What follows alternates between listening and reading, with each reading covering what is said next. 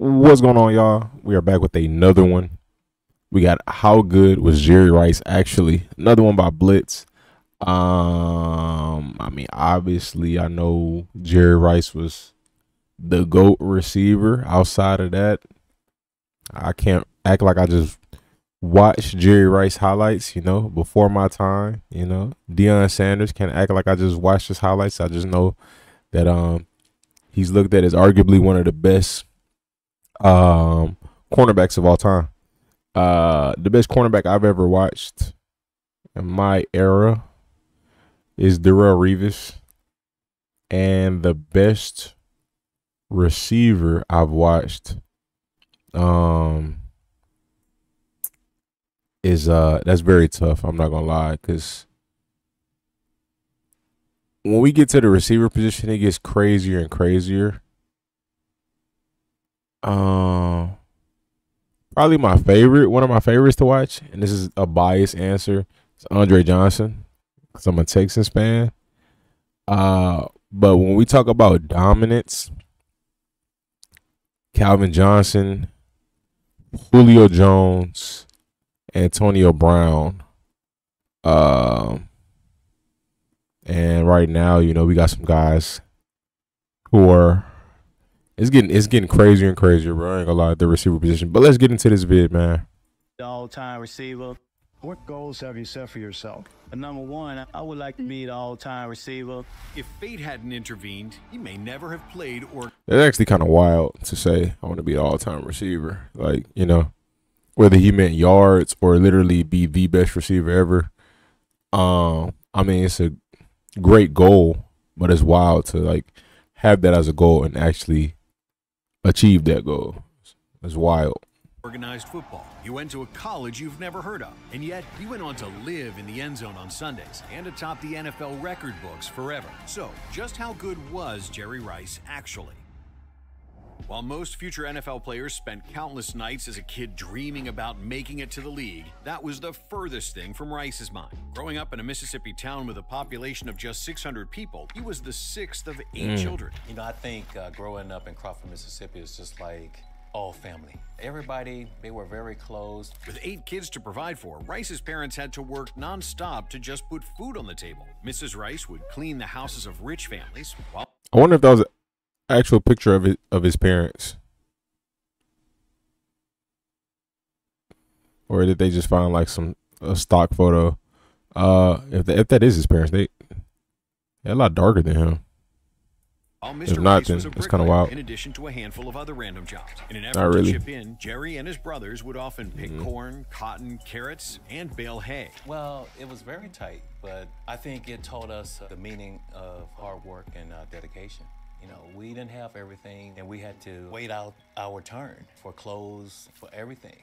By the time he was in high school, Rice's focus was so far from one day making the NFL that he still hadn't even played organized football. He loved playing it outside with friends and watching it on TV, but his mother thought that it was too rough for him to join his school's team. Then, on one random school day, Rice was doing something he shouldn't have been, and everything changed. His school's assistant principal caught him and a friend skipping class, so Rice fled the scene like his life depended on it. The assistant principal was so blown away by Rice's speed, he told the football coach coach about it. The coach immediately offered Rice a spot on the team. That is wild. His mother still what a way to join a join a team. That's wild. Didn't want him to play. However, the more she fought it, the more her son was determined to make it happen. So she eventually gave in, and Rice's football playing career was officially set to begin. After I got disciplined, then the principal wanted me to go out for the football team, and I were you great right away? No, not at all.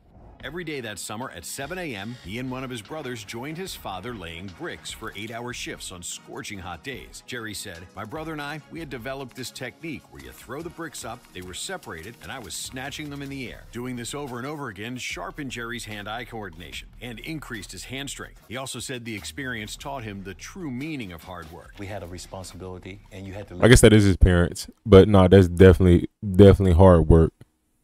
Uh, how old did they say he was? One of his brothers joined his father laying bricks for eight hour shifts. Not at all.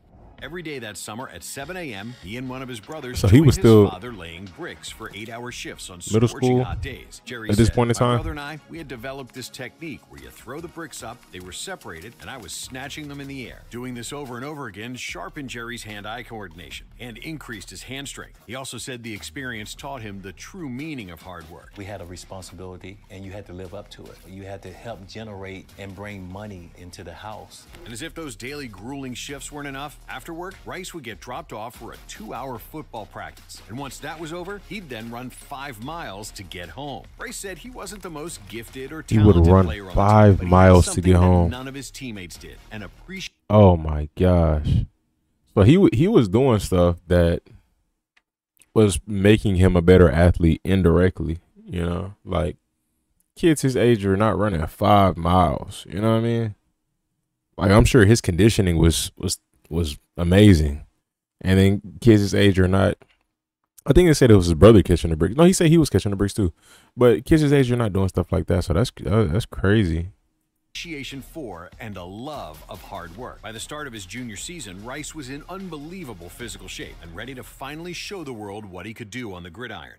He played on both sides of the ball as a wide receiver and defensive back. But because his school was so small, most of his stats weren't officially recorded. But according to a sports journalist from back then, Rice, as a senior, caught 50 passes for 30 touchdowns. But whatever the actual numbers were, he did enough to earn himself a Mississippi All State selection and attention from major colleges. Over 40 D1 schools contacted Rice, including his dream school of Mississippi State University. But none of them believed in him enough to offer a scholarship. The only program that did that was Mississippi Valley State, a Division I AA school. Reflecting on why he eventually committed to them, Rice said, Mississippi Valley sent up a coach and I had a chance to have a conversation with him and shake his hand. That goes a long, long way towards making you feel you can really trust someone. Rice also explained, at the time, Man, you know, when I saw the Ed Reed video the other day, it opened my eyes. Like the 40 yard dash does not determine anything about a football player. Um, and I, I, I didn't know Jerry went to a small school. So, you know, it's like these dudes really beat the odds. You know what I mean? Like, it happens. It really does. You know, it's crazy. They were also throwing the ball about 90% of the time. So it was a great opportunity for me. They assured me that the ball was going to be in the air coming my way, and then it was up to me to prove to everyone that I could be a professional athlete. He arrived on campus. He bet on himself. Mississippi Valley right for believing in him. As a freshman, he caught 30 passes for 428 yards and two touchdowns. Rice followed this up the next season by catching 66 passes for 1,133 yards and seven touchdowns. It was a very solid start to his collegiate career career.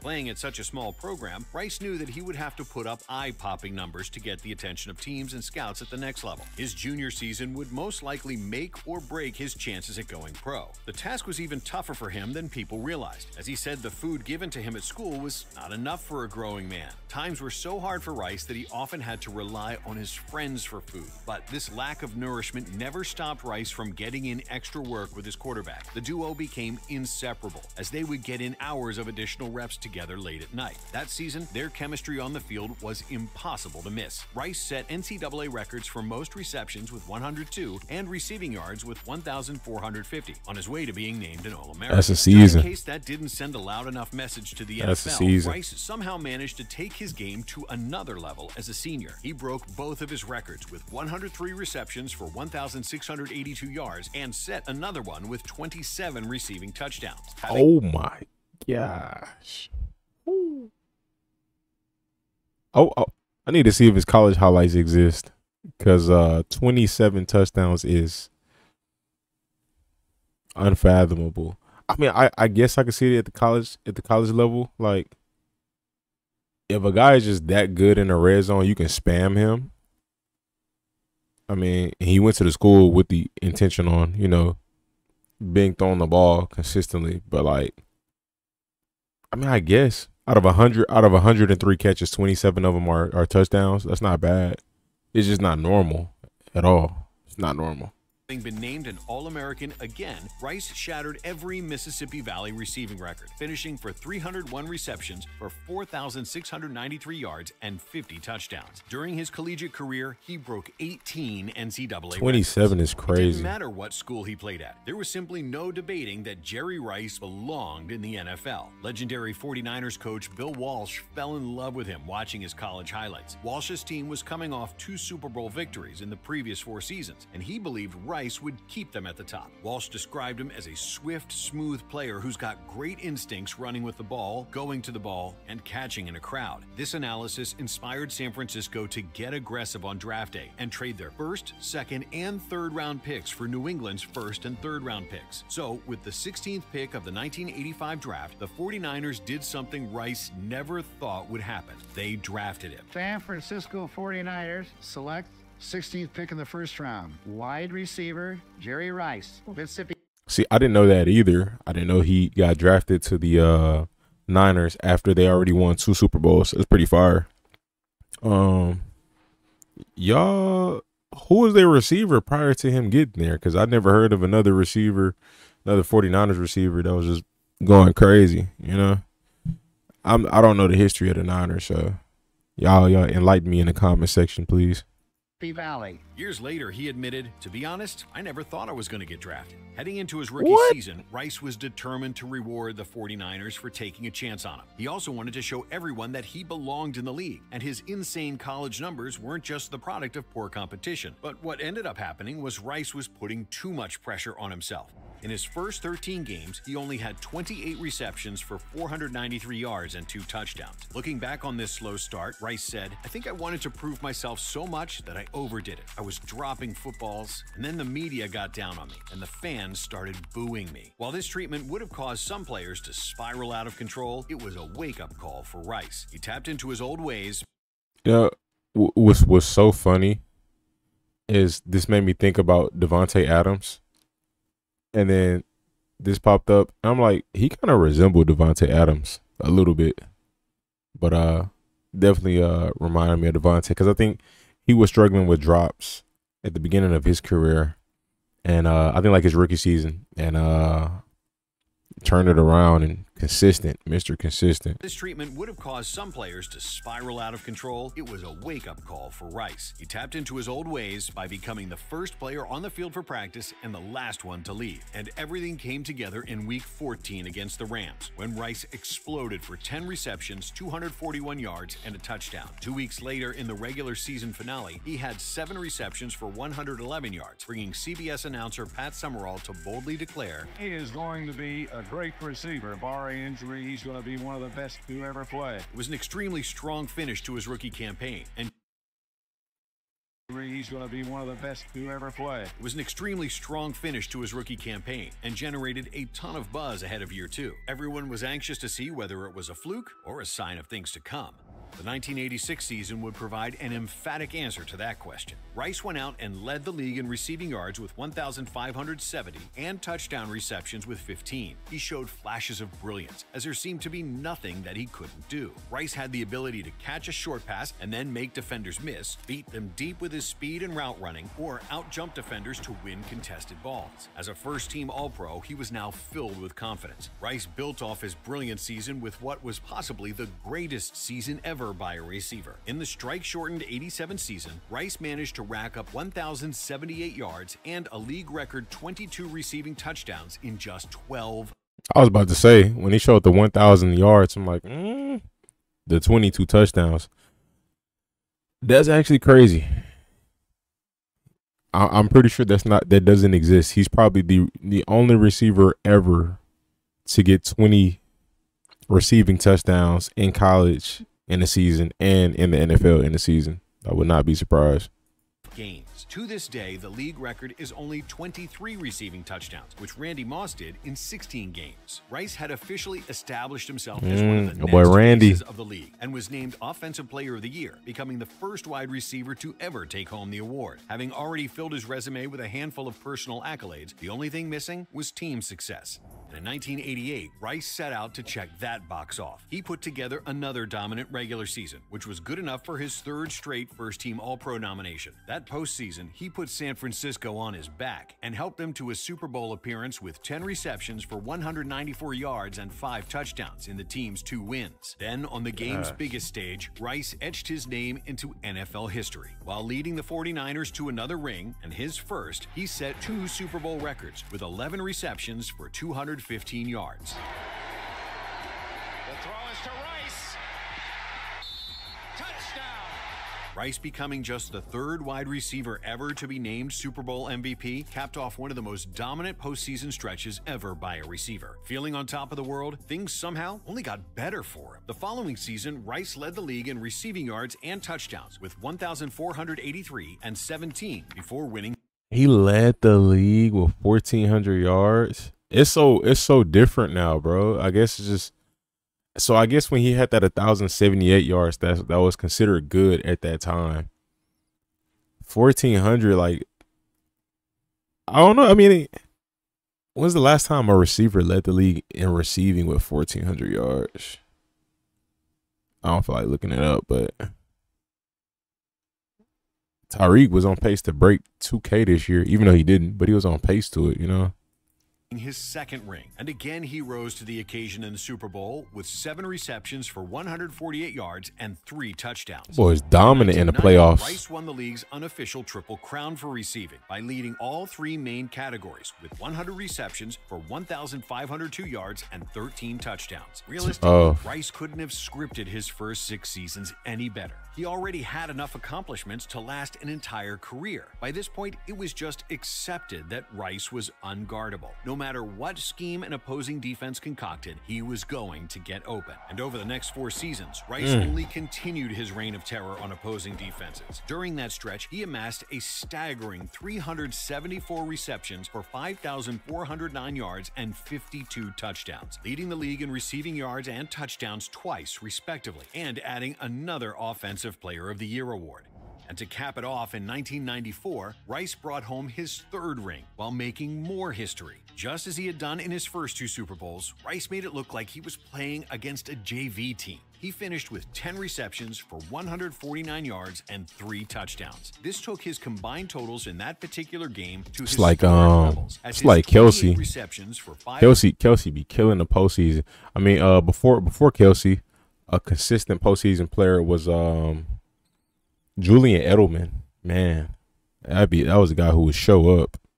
But uh, I'm trying to think before that. I mean, maybe before that, I don't know. I don't know who was the most consistent postseason receiver. 512 yards and seven touchdowns were all career Super Bowl records. As people seem to take Rice's greatness for granted at this point, it would take him doing something truly special to surprise anyone. And that's exactly what he did during the 95 season, as he set a league record for most receiving yards in a single season with 1,848. It wasn't until 1997, at 35 years old, when Rice started to look human for the first time. He had.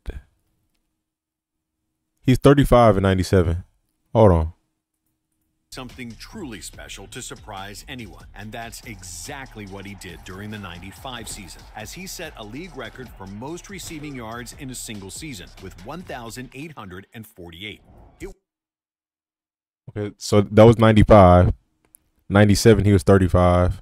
So he was 33 and had 1,800 yards. That's that's crazy. That's crazy.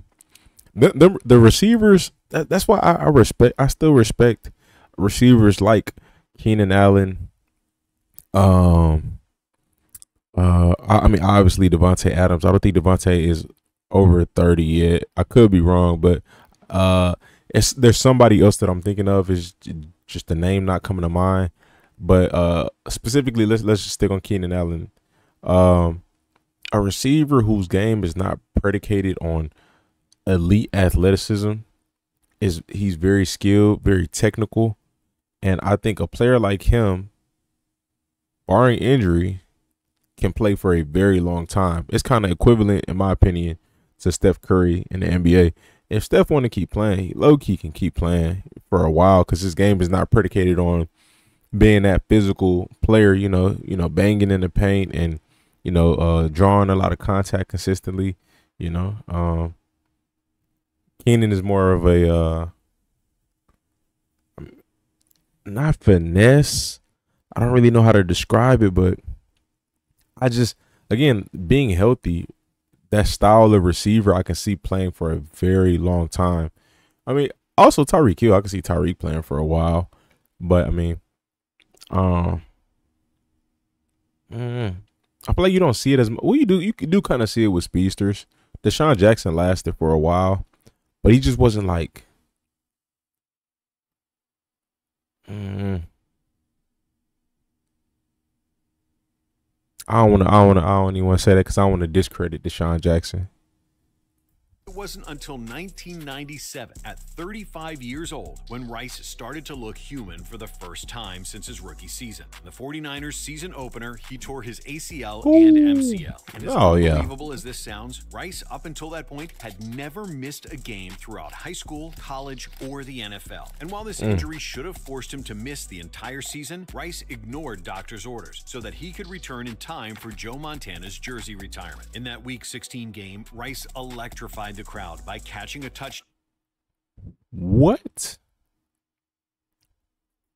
So he came back in the same season he tore his ACL. Ignored doctor's orders so that he could return in time for Joe Montana's jersey retirement. In that Week 16 game, Rice electrified the crowd by catching a touchdown in his return. However, there was a cruel twist. As he came down with the ball, he cracked his left patella. This time, his season was officially over. Coming off these serious injuries, people began to wonder how much he had left in the tank. And heading into his 14th season at the age of 36, this speculation was more than fair. But if anyone could find their way back, it would be Rice, the workhorse. He grinded all offseason, rehabbing his knee and trying to regain his form. In yet another chapter where Rice defies all logic, he went out and became the oldest receiver ever to record a 1,000 yard season. He followed this up with two more solid seasons before the unthinkable happened. Having suffered two consecutive losing seasons, the 49ers decided it was time for a rebuild and said goodbye to the longtime face of their franchise. After being released in the 2001 offseason, Rice signed with the Raiders. Now 39 years old, with 16 seasons under his belt, he should have been running on empty. Instead, Rice managed to do things that only he could do. He put together back to back 1,000 yard campaigns and led the Raiders to their first Super Bowl appearance in nearly 20 years. That is crazy. is crazy to play for such a long time. I had conditioned my body in a way that I could play for a long time. But for the first time in his career, Rice came up short in the big game. Despite his 77 yards and a touchdown, the Raiders lost to the Buccaneers. That season, he was named an All-Pro and Pro Bowler at 40 years Wow. old. An Oh my unprecedented gosh. accomplishment for a wide receiver. After a frustrating 2003 season and start to 2004, Rice demanded a I could, I could just imagine like it obviously it's different with Tom Brady because he's a quarterback, so it's going to be bigger. But I could I could imagine this like you know, a rec- it, I can't imagine it. I can't imagine a receiver being that good right now. Like somebody coming out of a receiver playing till they're forty years old and making all pros and Pro Bowls. But again, you know, I guess he, he was like their Tom Brady, you know, in that era. to trade. Six games into that year, he went to Seattle in exchange for a seventh round pick. But Rice couldn't really find his footing there and left during the following offseason to sign with the Broncos. However, he never wound up playing a snap for Denver and retired prior to the start of the 2005 Wow. season. I'm done. I'm looking forward to the next phase of my life now. On his way to being named first team All Pro 10 times, Rice led the league in receiving yards and touchdowns six times, respectively. When it was all said and done, he owned virtually every significant NFL receiving record. Some of the more notable career ones were receptions with 1,549, receiving yards with 22,895, 1,000 yard receiving seasons with 14, and total touchdowns with 208. To this day, Rice still owns NFL records for most career receptions, receiving yards, and touchdowns. Nobody has even come close to some of these, with Rice having over 5,000 more Hmm. That's wild. You know, I felt like Larry Fitz could have kept playing, but I mean, I don't really know what happened with that.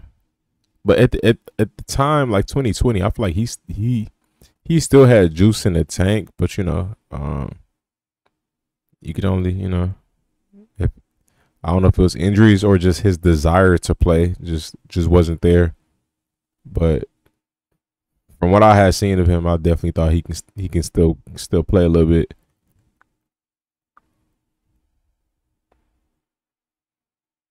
Randy played it's 98 to 12. Uh, he this is a gap, dude.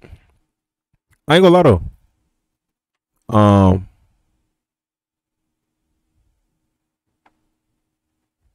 who y'all, who y'all think who y'all think has the most realistic of the receivers right now? I th- I think we could assume Justin Jefferson. I think he is the only assumption. But of the receivers right now, who do you think has the most realistic opportunity of catching Mr. Rice in yards? But then again, it might not be Justin, you know? Might be uh I don't know. Might be Keon Coleman. I'm joking. I mean, you, you never know though. It, it could be one of the young guys, you know. But again, like I said, nah. Let me, let me stick stick to the first question. Who right now has the most realistic opportunity to to be uh, the next goat receiver and possibly, let's say, possibly pass up Larry Fitz? More yards than the next closest person and 41 more touchdowns. Mm.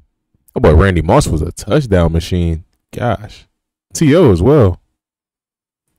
From the eye test to his individual records to his team success, there is no debating Jerry Rice as the greatest wide receiver of all time, nor his spot on football's Mount Rushmore for all players, regardless of position. Oh no, I got I got to give him the the Mount Rushmore of all players. Bro made a first team All Pro and a Pro Bowl at 40 years old. Yeah, he got he got it in my book. He uh he up there with Brady. I don't know who else to put up there, but both of them up there for sure. Y'all let me know your thoughts in the comment section. Hit that like button, subscribe, stay tuned, stay blessed.